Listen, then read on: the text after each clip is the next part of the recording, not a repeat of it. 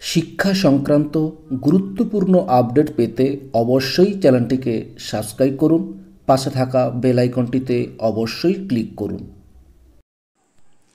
DA সংক্রান্ত গুরুত্বপূর্ণ press বিবৃতি। যে সরকার কর্মচারীদের ডিএ দিতে পারে না, তাদের ক্ষমতা থাকার কোনো অধিকার নেই।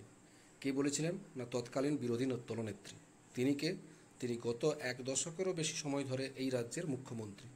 বিরোধী দলনেত্রী হিসাবে যখন কর্মচারীদের জন্য দরদে উথলে উঠেছিল, তখন বকেয়া ডিএর পরিমাণ কত ছিল?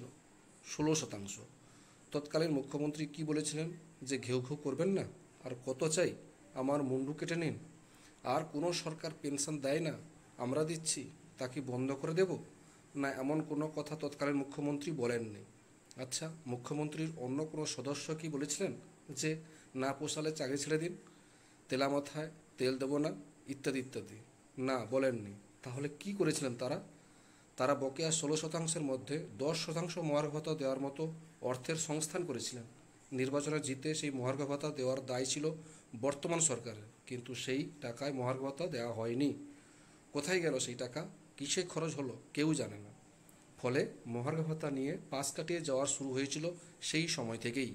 কেন্দ্রের বঞ্চনা আর ধারের বোঝায় ইদানিং মহার্ঘ ভাতা নিয়ে যা খুশি, তাই তারা তারা করছে। এবং তা কিন্তু নয়। তবে এটা ঠিক, জনরোষ যত বৃদ্ধি পায়, স্বৈরতন্ত্রের আস্ফলন তত বৃদ্ধি পায়। তার মনে করবেন, হুঙ্কার আর আস্ফলন দিয়ে দমিয়ে রাখা যায় না। না, যায় না। তার প্রমাণ মিলবে আগামী দশই মার্চ ধর্মঘটে। অভিনন্দন সহ বিশ্বজিৎ চৌধুরী, বিশ্বজিৎ গুপ্ত চৌধুরী, সাধারণ সম্পাদক, রাজ্য কোঅর্ডিনেশন কমিটি। ধন্যবাদ।